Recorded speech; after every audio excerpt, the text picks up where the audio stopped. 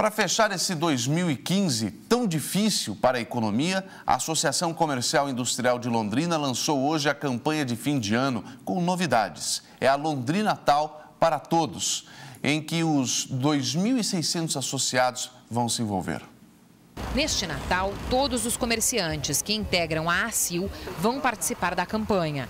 Eles receberão kits com cartazes e outros materiais gráficos e um pacote gratuito de 100 cupons para distribuir entre os clientes. Quem quiser pode comprar pacotes maiores.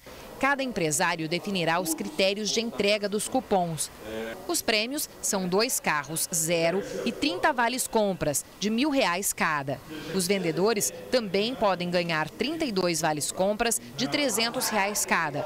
É mais uma tentativa de contornar a crise. É uma grande ferramenta com essa campanha que todos vão estar participando. Então, é uma campanha que envolve é, lojista, consumidor, o próprio colaborador. Então é a campanha para todos, né? o Londrina Natal para todos. É uma campanha que é uma ferramenta que vai ajudar a driblar esse ano difícil que nós passamos. Outra novidade da campanha deste ano é que os consumidores não precisarão mais preencher cupons à mão.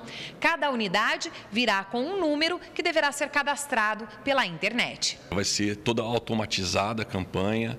O consumidor que comprar nas lojas vão ganhar um, uma raspadinha que vai vir um código e vai estar preenchendo na internet e participando do sorteio pela Loteria Federal. A gente também tem um ponto de cadastramento no Royal Plaza. Então quem tiver dificuldade pode ir lá que o pessoal vai estar ajudando a fazer esse cadastro. A campanha Londrinatal 2015 prevê também a apresentação de cantatas nos dias 17 e 18 de dezembro na Praça Willie Davis. Aqui em frente à Associação Comercial, no, no antiga Casa Fugante, é uma parceria com o Banco Cicobi, vai ter uma cantata de Natal aí que vai envolver aí é, bastante gente aí.